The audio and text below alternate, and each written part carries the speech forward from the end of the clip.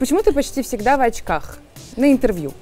А, ты знаешь, э, я могу их, конечно же, снять, но я заметила такую закономерность, э, что когда я в очках, я выгляжу лучше, а, потому что приходишь на передачу, не всегда свет так, как ты привыкла, mm-hmm. да, типа ракурс не так, как нужно, и по сути, как бы, ну, лучше в очках на НЗшечку, чтобы ты сто процентов потом не плакал, как что-то у тебя там не так лежит, или что у меня вот сто процентов я вижу, что моя визажист тоже заглядывает в камеру и смотрит, чтобы у меня очки не стерли макияж Нет, вокруг носа, но как бы я, ну, вот так пока что решила делать, потому что Э, всегда хочется выглядеть красиво и потом не расстраиваться. У меня э, такая есть закономерность, что с камерами мы не очень дружим. Вот мне не, недавно кто-то, я, я комментарий читала, э, когда вот не скажу где, ну, читала комментарий, и э, какой-то молодой человек пишет, о, я думала, она такая пухленькая, такая худенькая девочка вроде бы, и личико маленькая. У меня, например, камера всегда полнит на 6-8 килограмм.